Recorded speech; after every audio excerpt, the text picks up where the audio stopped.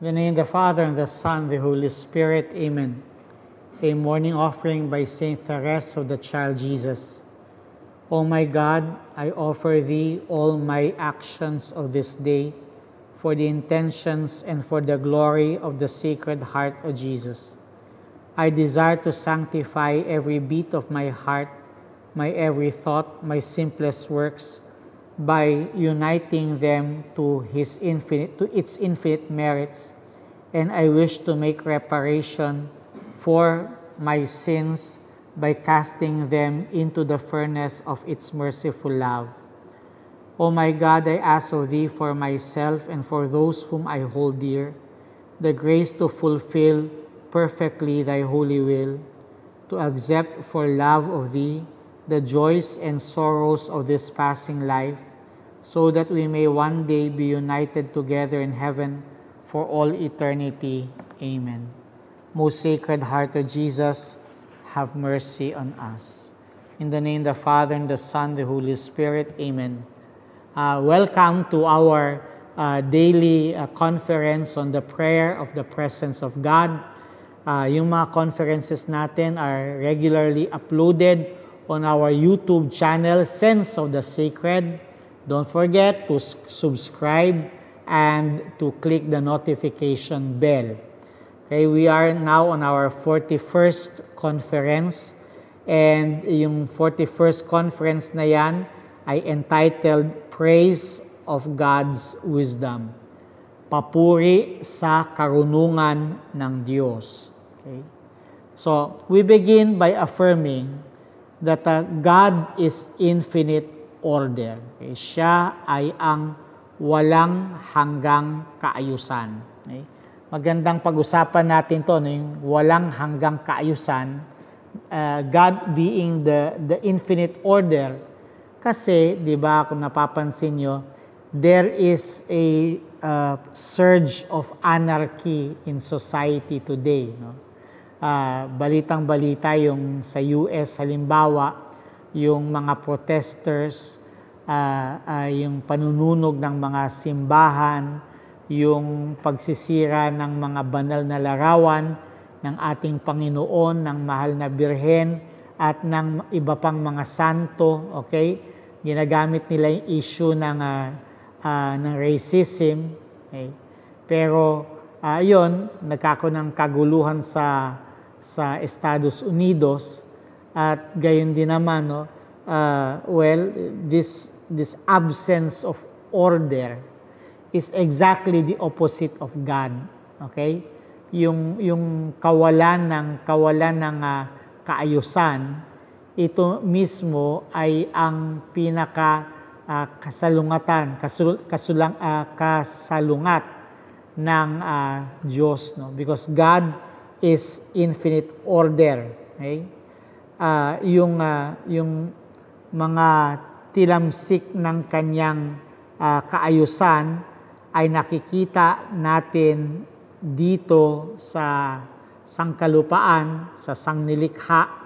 At kung mapapansin natin, uh, manghang-mangha na tayo sa kaayusan na nakikita natin okay, sa kalikasan, pero kung tutusin, ito'y napakaliit pa kung ihahambing sa kaayusan ng Diyos. Okay?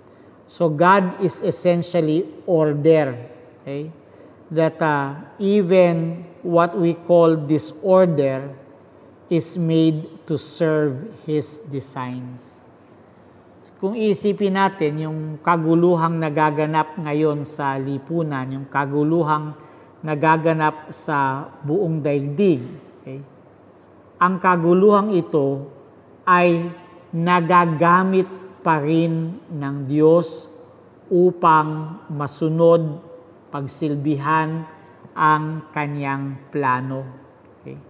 God possesses amazing amount of making harmony out of dissonance.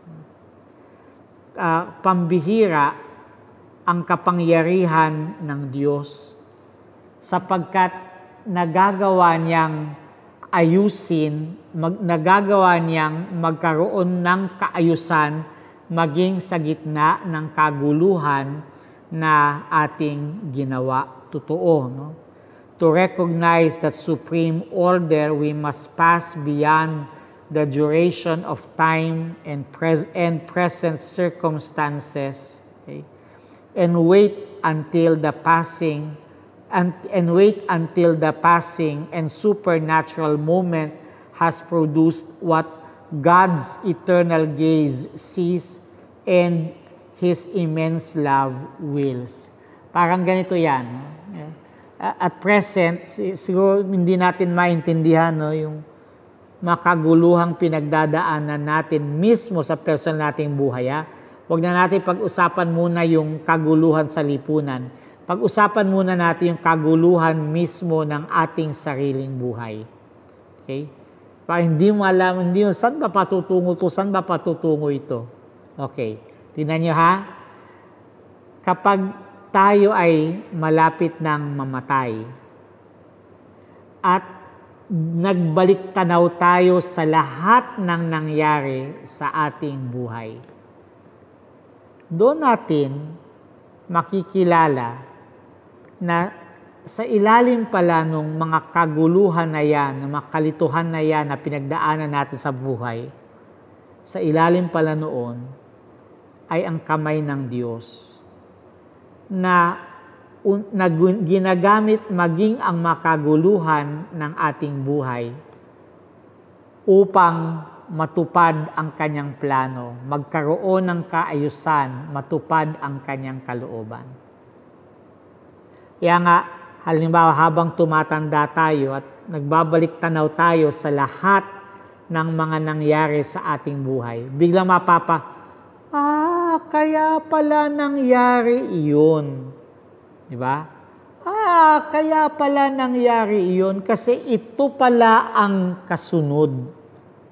All of a sudden, the chaos in our lives, when we look back at all of them at one point in our life, we will see there was an order.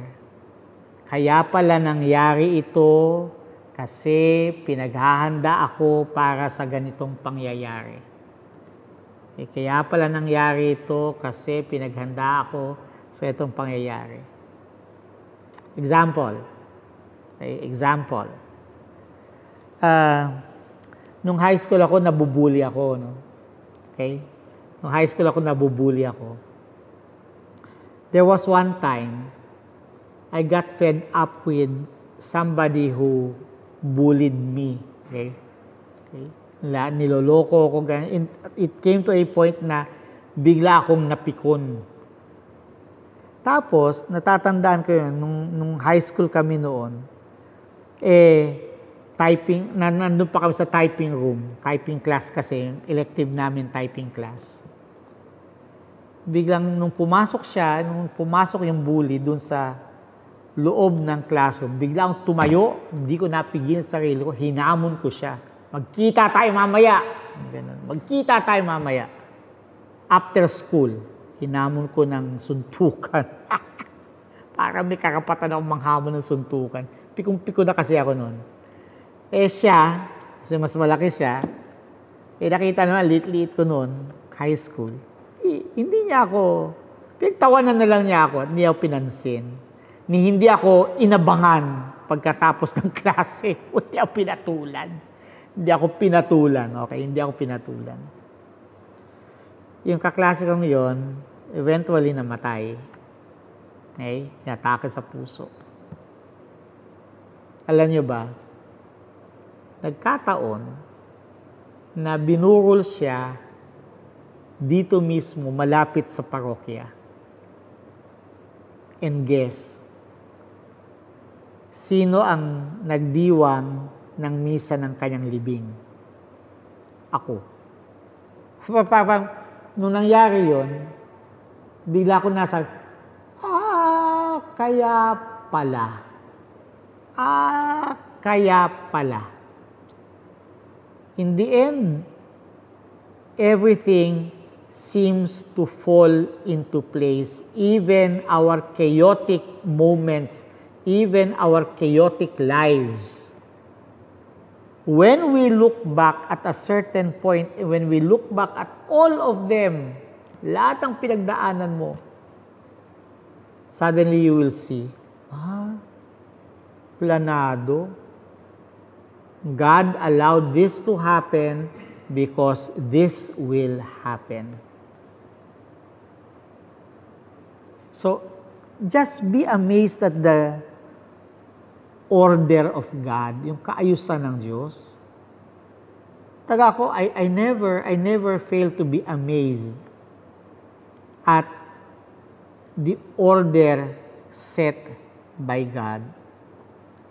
Wait until the passing and superficial moment has produced what God's eternal gaze sees balang araw makikita natin yung tinitingnan ng Diyos. Ngayon, hindi natin naintindihan kung bakit nangyayari ito sa akin. Bakit nangyayari ito sa atin? Pero balang araw, He will allow us to see our lives, our history, the way He sees it. And when it happens, we will discover how great was that love found in His will when He allowed a misfortune to happen because God is able to see with great love the entire picture. So God's wisdom in this gaze, seeing far beyond time and distance, it emerges from a mind that creates order and from a love that gives itself. Okay? Yung yung uh, yung karunungan na ito ng Diyos ay nanggagaling sa isang diwa na lumilikha ng kaayusan at sa isang pag-ibig na nag-aalay ng kanyang sarili. Yung kaayusan ay ang bunga ng diwang nagmamahal. At the proper name, the proper name of this is the wis is called wisdom. Okay? The order is the outcome of the mind that loves. The proper name of that mind that loves is wisdom. Ang tawag sa diwang umiibig na iyan ng Diyos, ang tawag doon ay ang kanyang karunungan. Okay? So, sa tao, yung isip at kalooban ng tao ay sumisilang mula doon sa malalim na ugat, bagamat kadalasan ito'y watak-watak. It would be more correct to say it seems distinct because distinction is not the same as division. Okay? So, sa Diyos, yes, you have three distinct persons, and yet the three persons are not divided. They are only one. Okay? Ang ama ay hindi ang anak. Ang anak ay hindi ang ama ang Ama ay hindi ang Espiritu Santo. Ang Espiritu Santo ay hindi Ama. Ang Espiritu Santo ay hindi ang anak at ang anak ay hindi ang Espiritu Santo. Each person of the Blessed Trinity is distinct, but they are not divided. God is not divided. Hindi nagkakawatak-watak ang Diyos. Okay? So distinction is not the same as division. In God, there is no division. Yes, there are three distinct persons, but they are one. Wisdom is the unique act by which God knows Himself in His love. And wisdom is also the unique act by which uh, God loves Himself in that self-knowledge. Medyo mahirap, mahirap unawain yun ha. Ang karunungan ng Diyos ay ang pagkakakilala ng Diyos sa kanyang sarili. Okay? At iniibig ng Diyos ang sarili niyang nakikita o nakikilala niya. Okay? So, uh, uh, uh, that, that wisdom is actually the Lord Jesus. Okay? Ang ating ang ang ikalawang persona ng Santissima Trinidad ay ang karunungan ng Diyos. Anong ibig sabihin nun? Pag tinitingnan ng Ama ang kanyang anak, nakikita niya ang kanyang sarili. Nakikilala niya ang kanyang sarili. Actually, hindi dapat mahirap unawain yan eh. Halimbawa, kayong mga tatay, kapag nakikita ba ninyo ang inyong anak, nakikita ba ninyo ang inyong sarili? Ang sagot, oo. Oo. Even in physical, in the physical way, yes, your son will resemble you. At minsan kahit sa ugali, yes, the son resembles his father. Okay? So, kapag tinitignan ng Diyos Ama ang kanyang anak, anong nakikita niya? Ang kanyang sarili. Nakikilala niya ang kanyang sarili. At minamahal ng Ama ang nakikita niya sa kanyang anak. His knowledge is a knowledge that loves. His mind is a mind that loves. Wisdom is God's word, the light in whom God has revealed, the word who expresses God's being, the image who represents the invisible God, the substantial ray who is the splendid brightness of divine glory. The likeness that reproduces the features of God and makes Him known. Kaya nga, di ba, nung sabi ni St. Philip kay Jesus, Lord, show us the Father and that will be enough for us. And what did Jesus say? Philip, you have been with me all this while and still you do not know me. Do you not know that whoever sees me sees the Father? Ang sino mang nakakakita sa akin ay nakakakita sa aking Ama. In the Word, the Word is the likeness who reproduces the features of God and makes Him known. At yung karunungan na ito ng Diyos is communicated, was communicated to nothingness and has filled nothingness with finite reflections of Him who is. Okay? Ibinuhos ng Diyos, he, he, he, he communicated to the nothingness His own divine wisdom. Okay? Kaya nga, hindi ba, ang sabi nung, nung banal na apostol San Pablo, sabi niya, In him all things were created. All creation were made through him and for him. Okay?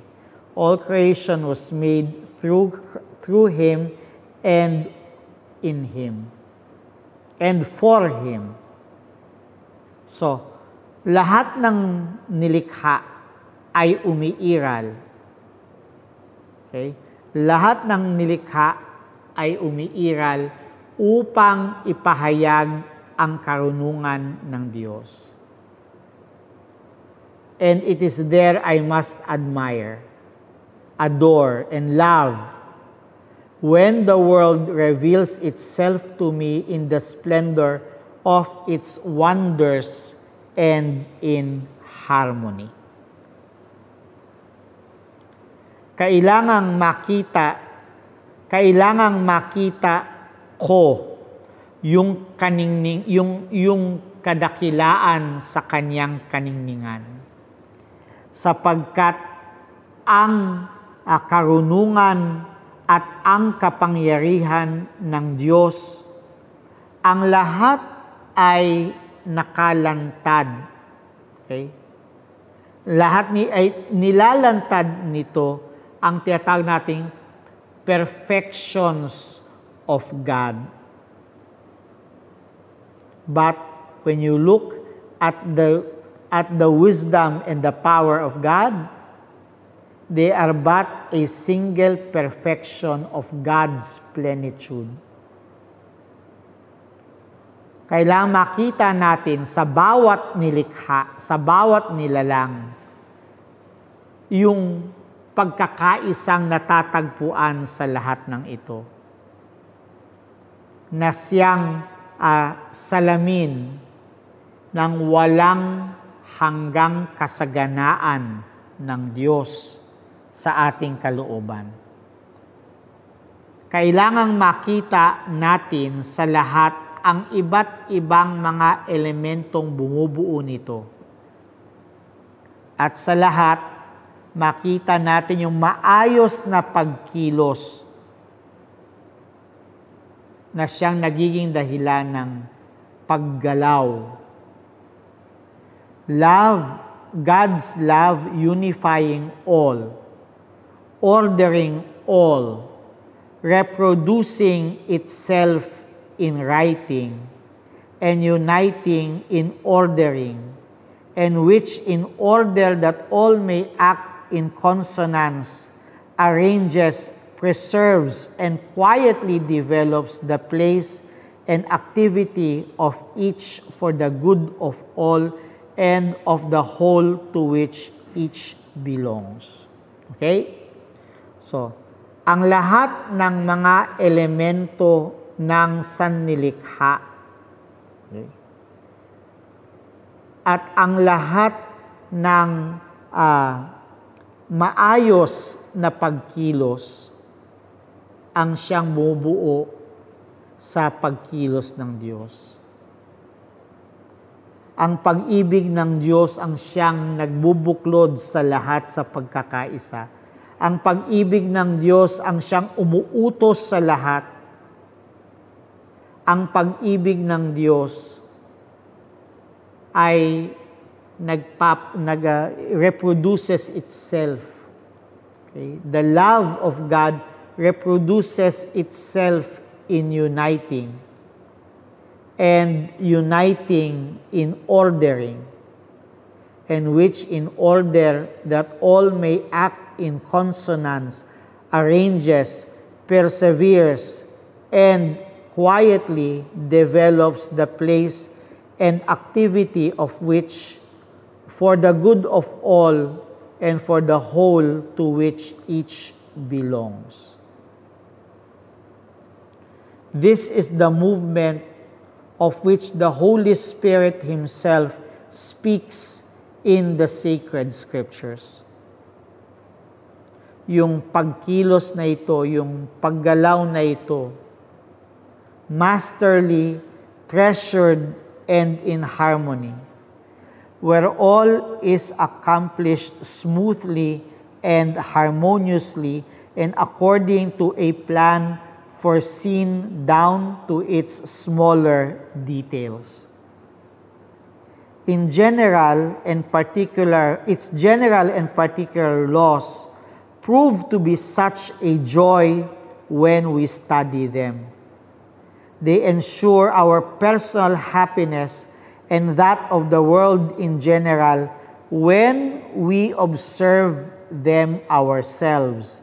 And they will and they all tend to restore to appearance and everything something of the peace which reigns in heaven. Sa maniwala ka sa hindi, sa bawat nilalang ay nakikita natin ang isang pasilip ng kapayapaan na naghahari sa langit. At pag nagpapasakop ang sanlibutan sa pamumuno ng karunungan ng Diyos, malinaw, malinaw niyang nakikita ang lahat ng bagay at nalalagpasan ang lahat ng mga balakid. Okay. Nalalagpasan ang lahat ng mga balakid. When the world allows itself to be governed by God's wisdom, it sees clearly without any kind of obstruction because wisdom is light. Ang karunungan ay liwanag.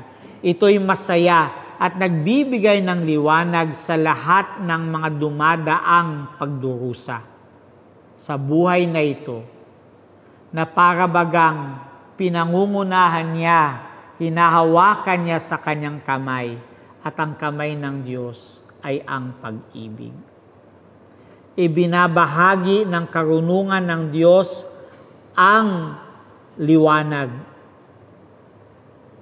Sapagkat ang Diyos, ang karunungan ay liwanag. Masaya siya at ginagawa niyang maliwanag ang lahat ng mga dumaraang pagdurusa sa buhay na ito na para bagang hinahawakan niya tayo sa kanyang kamay. At pumapayag tayong dalhin niya tayo kung saan man natin, kung saan man niya nais na maibigan. Wisdom shares your light, which sees only love. Ibinabahagi ng karunungan ang kanyang ang, ang kanyang uh, buhay. Okay? Ang kanyang buhay, ang kanyang liwanag. At ang liwanag na ito ay nagiging kabutihan at kanyang inuulit yung pagkakaisa ng Diyos.